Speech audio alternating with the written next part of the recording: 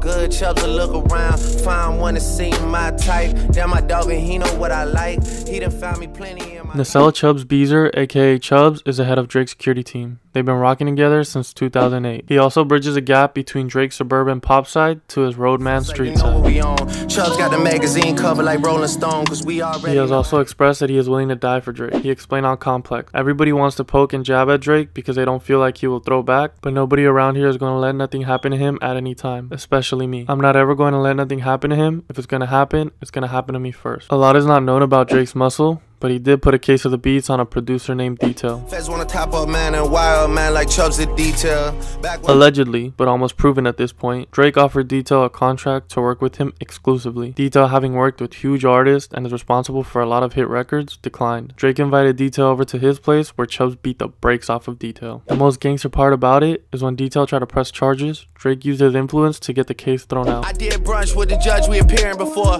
Private. Now that's power. Thanks for watching. Let me know if you guys want me to do a story on Baka Not Nice, Drake's number one shooter. Peace.